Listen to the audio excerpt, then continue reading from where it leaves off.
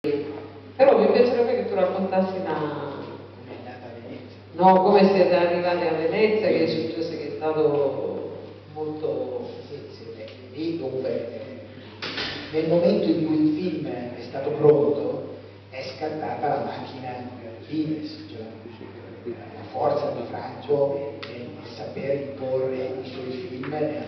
Per cui siamo andati alla Cineriz, eh, abbiamo convinto, ha convinto la Cineriz a prendere il film, ha convinto un esercente importantissimo di Milano che poi negli anni, tanti anni dopo è diventato mio socio, di Sardo, no? che aveva tutte le sale in Lombardia, a prendere il film. Film che è stato portato a Milano il 2 settembre, l'hanno smontato dopo Pasqua.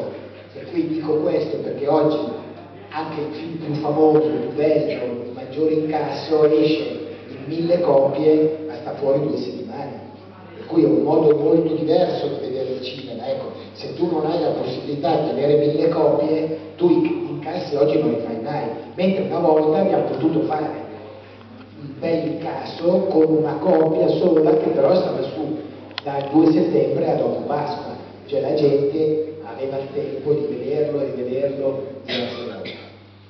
E allora tutto questo ci ha portato a Venezia. Adesso qui ho visto che c'è anche Bertolucci come, come ospite del festival e quell'anno a Venezia c'era la Luna, c'era il concorso Ogro, Pontecorvo, per cui Franco era forte di un film in concorso e ha detto però anche un'opera prima, mettetela da qualche parte, mettetela al pomeriggio, mettetela dove volete.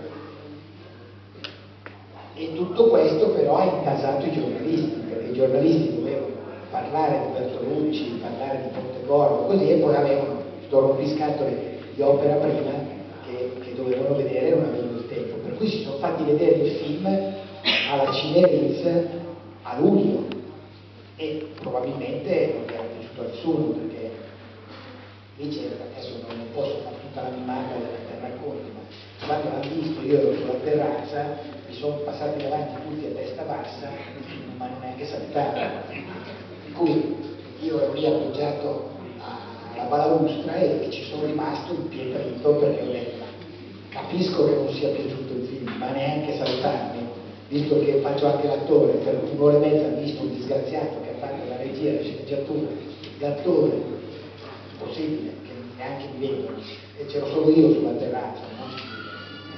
Però tutto questo è stato spazzato via da 20 minuti di applausi quando è stato proiettato.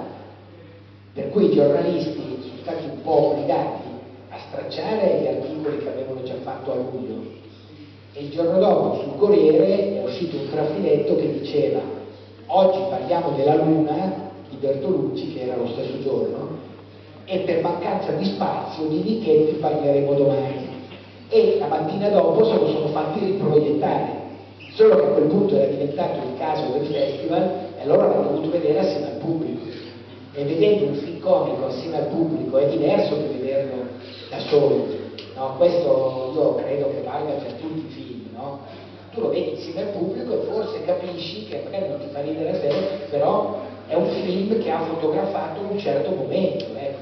quel momento in Italia è stato fotografato da Ratataplan oltre i meriti del film ecco, oltre i meriti miei, di Franco noi siamo, eravamo e siamo, io sono ancora innamorato del mio mestiere, per cui noi facevamo il nostro mestiere ai massimi livelli che potevamo fare, però non sempre è la fortuna di azzeccare il film che parla anche di una generazione, quello è anche un po' capitato, insomma. E alla fine degli anni 70 in Italia c'era voglia di ridere, perché era il decennio della, della strategia della tensione, era il decennio delle bombe, era il decennio di una, di una, politica che si era incardinita, per cui i piani metropolitani nel 77 scrivevano sui muri una risata vi seppellirà. Una risata vi seppellirà vuol dire sdoganare l'ironia e portarla dalla parte della contestazione, che era una rivoluzione, perché se Ratataplan l'avessimo fatto nel 68 non ce lo facevano neanche uscire, perché non c'era ironia nella contestazione del 68, mentre alla fine degli anni 70 c'era voglia di essere ironici proprio per scrollarsi addosso un decennio di, di cose cruente. Ci ho capito bene a tutti,